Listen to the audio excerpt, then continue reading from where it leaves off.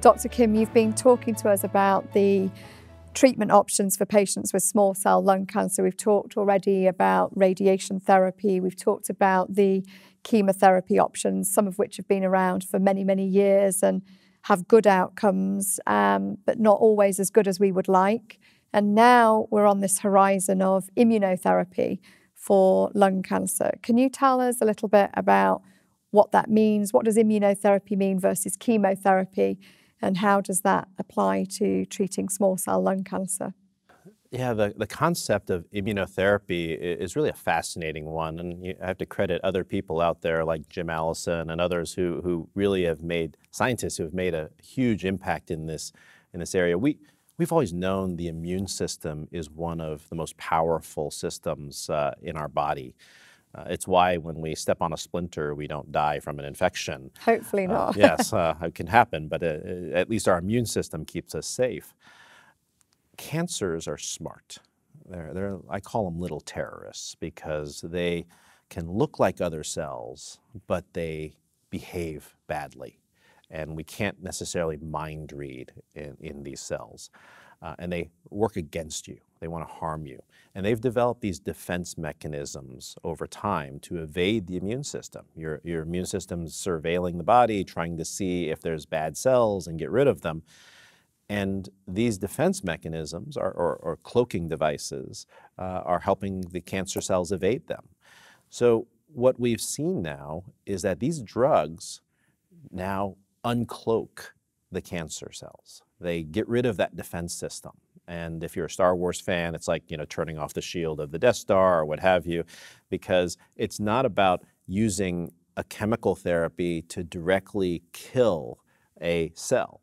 It is now trying to make it vulnerable so that the other things like your immune system, like other chemicals, can come in and destroy them. And so uh, that is what's fascinating about the field. It's fascinating about science. And adding that to chemotherapy has proven to be beneficial.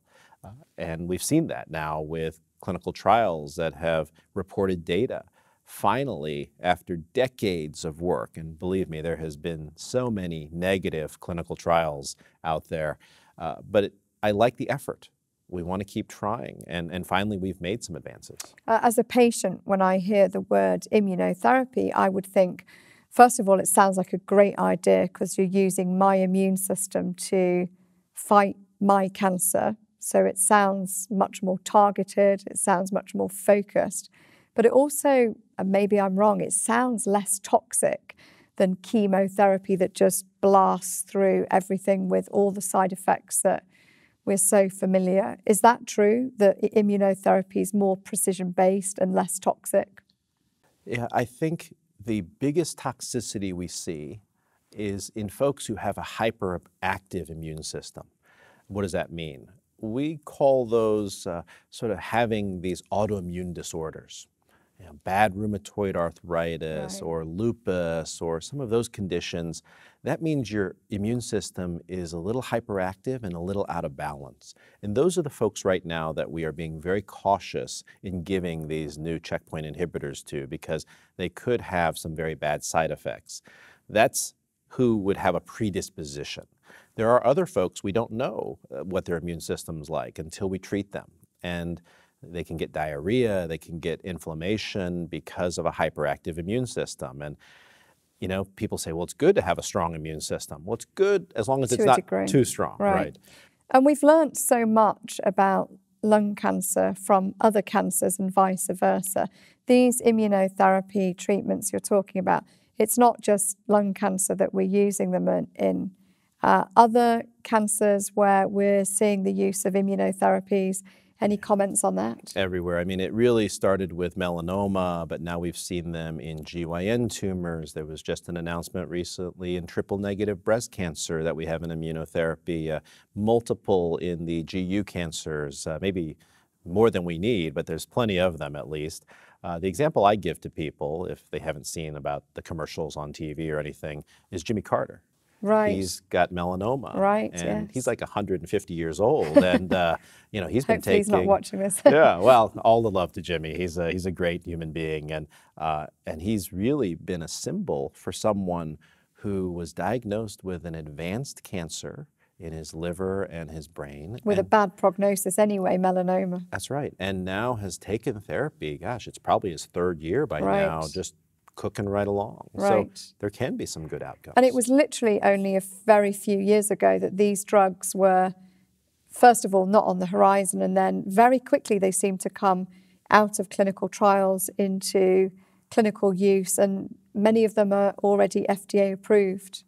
Yeah, we always say that you shouldn't have to do a long, complicated study with large numbers of patients to prove a drug has a little bit of benefit. Right. The drugs that really benefit folks, we'll get them quickly because they'll show signals that are very dramatic very quickly.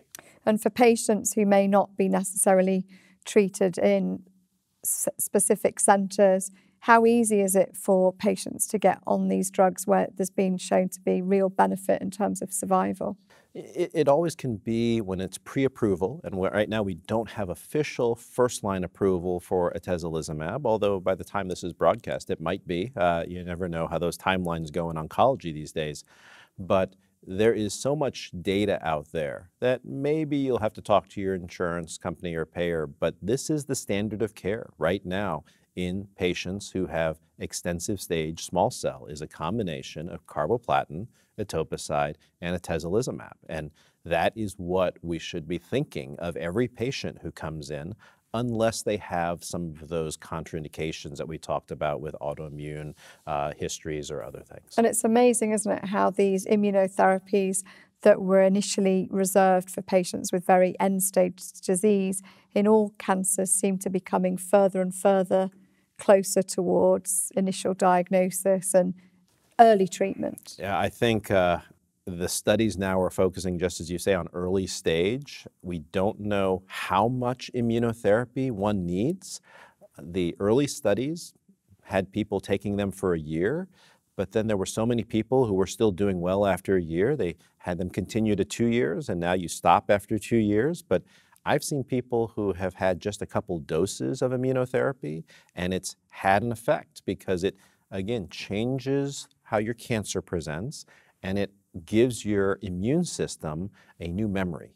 And as long as those things stay constant, it's not like taking a suppressive chemotherapy or toxic chemotherapy to keep a tumor down. It's your immune system doing the work. You've talked about combination use with other standard chemotherapies.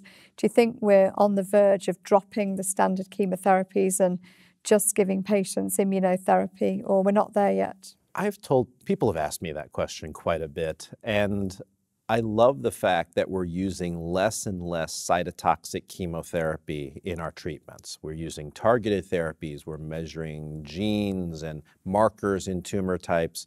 But I think there will still always be a role for chemotherapy just because it is a treatment and it has helped people. And so there will always be a role. I just wanted to play more of the supporting cast rather than the primary.